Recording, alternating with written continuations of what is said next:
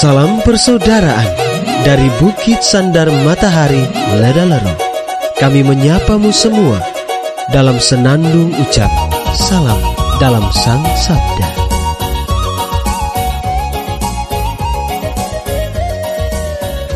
Bacaan Injil dan Renungan hari ini Edisi 8 Oktober 2021 Jumat Pekan Biasa ke-27 disusun oleh Frater Damihale SVD dan akan dibawakan oleh Frater Sian Leon SVD. Selamat mendengarkan.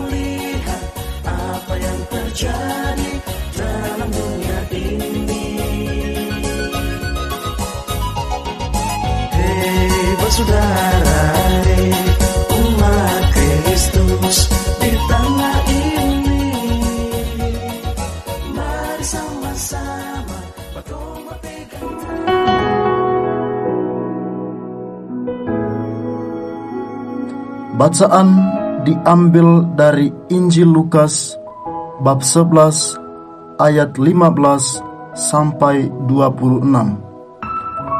Sekali peristiwa setelah Yesus mengusir setan, ada beberapa orang yang berkata, "Ia mengusir setan dengan kuasa Belzebul, kepala setan." Ada pula yang mencobai dia dan meminta tanda dari surga.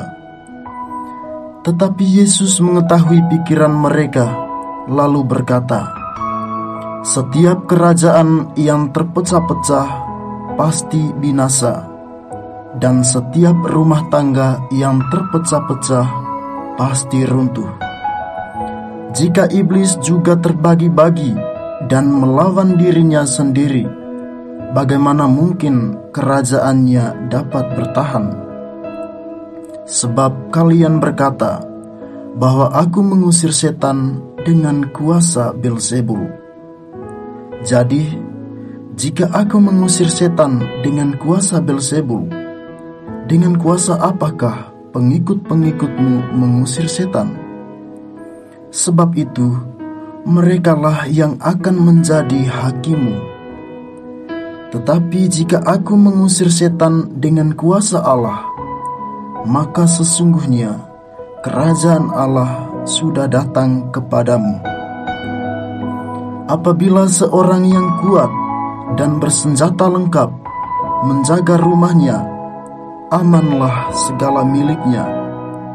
Tetapi jika seorang yang lebih kuat daripadanya menyerang dan mengalahkannya, maka orang itu akan merampas perlengkapan senjata yang diandalkannya dan akan membagi-bagikan rampasannya. Barang siapa tidak bersama aku, ia melawan daku, dan barang siapa tidak mengumpulkan bersama aku, ia mencerai beraikan. Apabila roh jahat keluar dari manusia, ia mengembara di tempat-tempat yang tandus, mencari perhentian, dan karena tidak mendapatnya, ia berkata, "Aku akan kembali ke rumah yang telah kutinggalkan itu." Maka pergilah ia dan mendapati rumah itu bersih tersapu dan rapi teratur. Lalu ia keluar dan mengajak tujuh roh lain yang lebih jahat daripadanya, dan mereka masuk dan tinggal di situ. Maka akhirnya keadaan orang itu lebih buruk daripada keadaannya semula. Demikianlah Injil Tuhan. Terpujilah Kristus.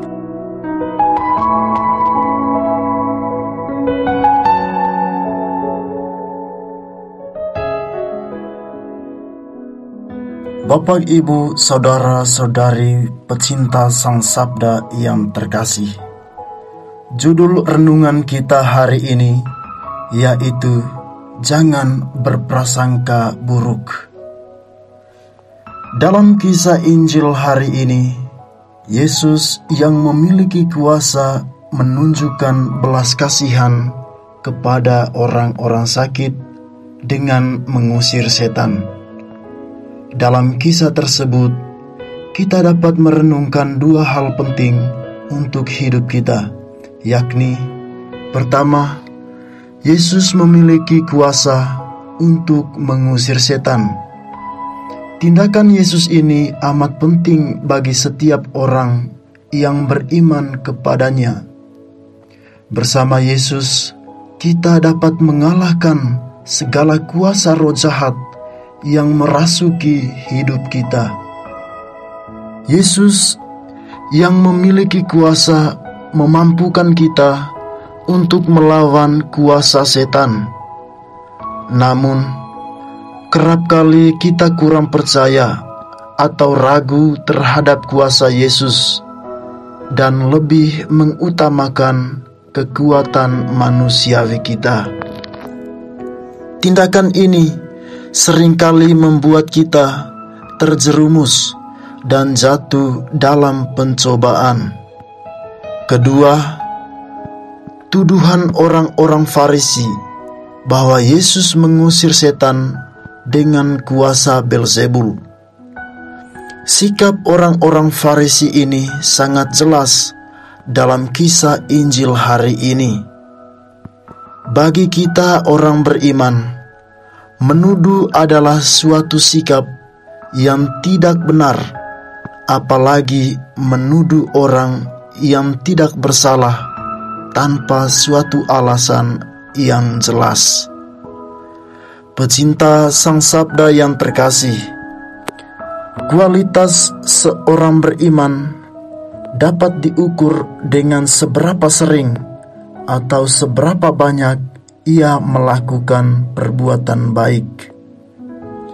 Jika hal itu tidak nampak dalam kehidupannya, maka seorang atau pribadi tersebut dinilai kurang beriman atau tidak layak disebut sebagai murid-murid Kristus. Melalui Injil suci hari ini, Yesus mengajak kita untuk percaya padanya, karena Dia yang memiliki kuasa untuk mengusir setan dan segala hal yang mengganggu kehidupan kita. Selain itu, Yesus juga mengajak kita untuk bersikap bijaksana dalam bertutur maupun bertindak dalam mengambil sebuah keputusan, bukan sebaliknya memilih jalan pintas lewat cara menuduh orang lain tanpa suatu alasan yang jelas. Dua ajakan Yesus ini penting untuk kita hidupi dalam hidup harian kita, karena dengan cara itu kita telah menunjukkan diri kita sebagai orang beriman.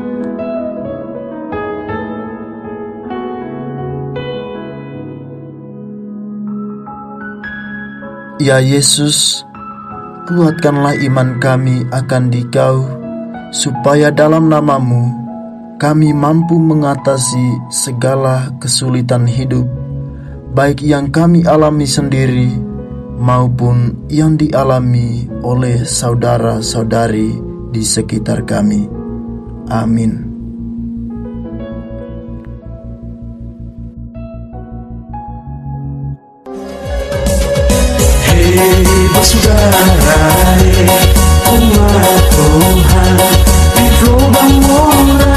Sahabat-sahabat pencinta Sang Sabda, kita baru saja mendengar bacaan Injil dan renungan edisi hari ini. Sampai jumpa kembali pada edisi berikut. Terima kasih kepada Divisi Kerohanian website Seminari Tinggi Santo Paulus Nedalero. Semoga Sang Sabda menjiwai seluruh pengalaman hidup kita hari ini. Tuhan memberkati kita sekalian. Amin. Dalam satu hati di dalam kasih Yesus. Dengarkan sapaan sabda dari komunitas Seminari Tinggi Santo Paulus Ledalero setiap hari Senin sampai dengan Sabtu di www.seminariledalero.org.